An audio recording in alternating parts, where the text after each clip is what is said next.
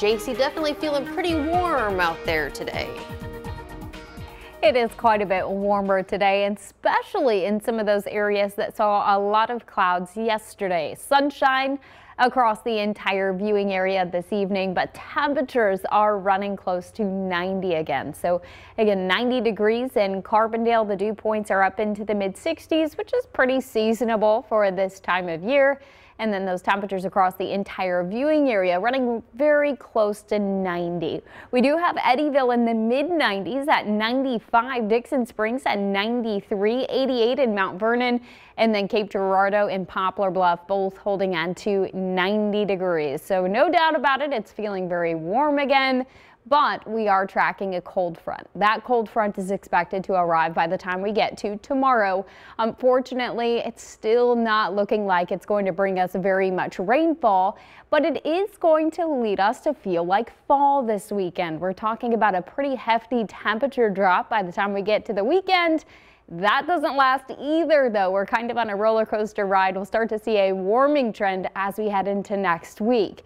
As of right now, not a whole lot to talk about, of course, here at home, but that cold front is just off to our north and west. That front is going to be working its way in throughout the day on Friday. So today we're going to continue to stay quiet through the evening. We can't completely rule out a stray shower overnight, but I think that chance is pretty small. That better rain chance is set to arrive with that front as we head throughout the day on Friday. And by better rain chance, I do think it's still looking very isolated and unfortunately not all of us will get to see some of that rainfall. So it'll be very spotty.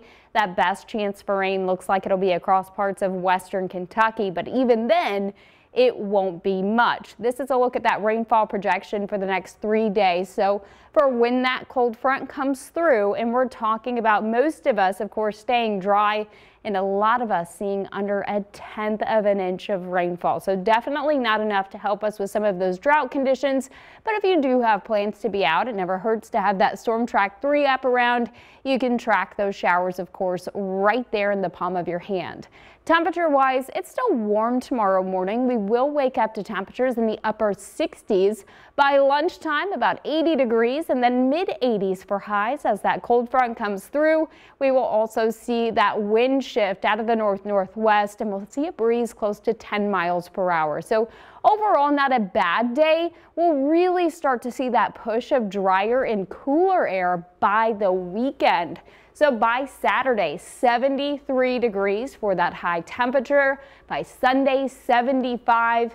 Enjoy Saturday, Sunday, and Monday because by the time we get to next week, we are going to see things start to heat back up. We'll be climbing back up into the upper 80s, so all the more reason to enjoy this tease of fall weather.